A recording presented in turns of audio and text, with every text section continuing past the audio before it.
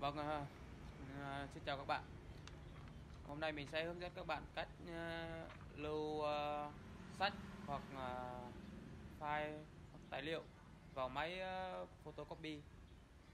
Vâng, chúng ta bắt đầu. Vâng, ở đây uh, mình quay video cho các bạn xem. Thì mình chỉ uh, lưu tờ đơn này vào máy thôi.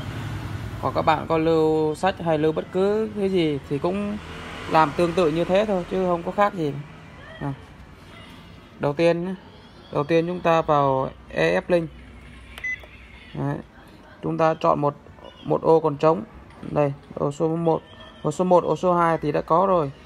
Mình chọn ô số 3 Đó, chọn setup.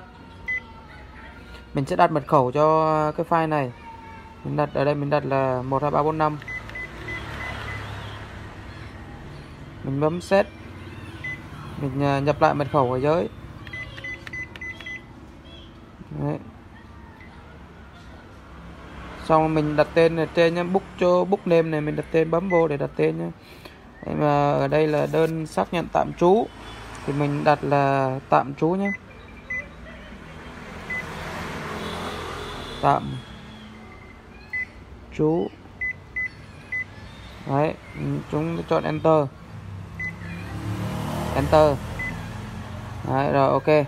Giờ chúng ta sẽ nhấn qua ô copy này. Ô copy ở đây trên này này. Copy. Chúng ta vào exit. À cho quên. Xin lỗi các bạn. Chúng ta vào ef link file này. Ef link file. Chúng ta vào ờ, store to ef link. À, đấy. Chúng ta chọn uh, book folder. Đấy. Chúng ta vào chỗ tạm trú này. Chọn ổ tạm trú. Lúc nãy chúng ta đã chọn này. Rồi, enter nhập mật khẩu là 12345 enter. Đấy, enter tiếp. Ở đây thì chúng ta sẽ đặt tên, document nên đặt tên. Là xóa hết cái cũ đi. Đặt tên là tạm trú.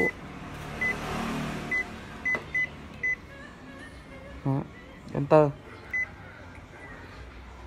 Đấy. enter tiếp. Ở đây thì nó hỏi là à, lúc lưu xong thì chúng ta có muốn chạy ra thử ra một bản không?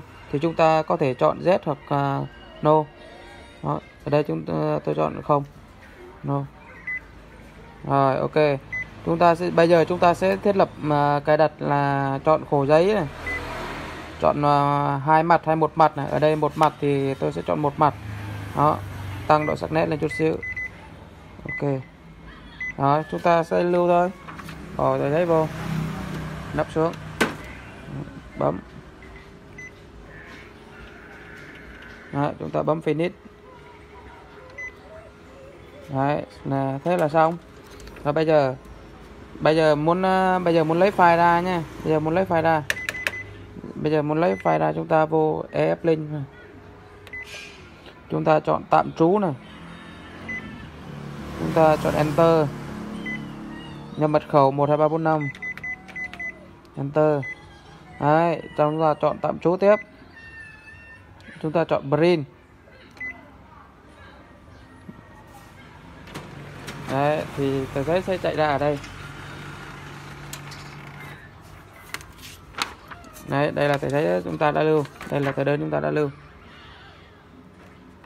Đấy, còn đây là tờ gốc của chúng ta. Đấy. ok chúc các bạn sẽ áp dụng thành công nhé.